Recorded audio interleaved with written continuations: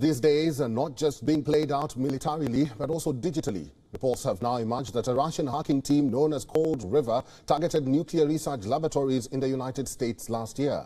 Three such laboratories were reportedly targeted by hackers in August and September, as per the information accessed by Reuters. This is the same time when Russian President Vladimir Putin indicated he may be willing to use nuclear weapons to defend its territory. The targets were Brookhaven, Argonne, and Lawrence Livermore National Laboratories.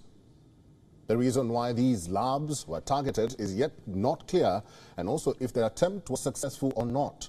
There have been no comments yet by the said laboratories and U.S. officials on the attack. According to cybersecurity experts and Western officials, Cold River has been involved in several high-profile hacking incidents in recent years. The hacking team has reportedly escalated its campaign against Kyiv's allies since the war broke out. Western officials have accused the Russian government of using cyber espionage to spy on foreign governments and industries to seek a competitive advantage. However, Moscow has consistently denied that it carries out any such operations.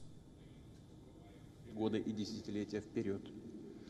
Помимо уже, уже испытанного на поле боя нового оружия, войска начали поступать.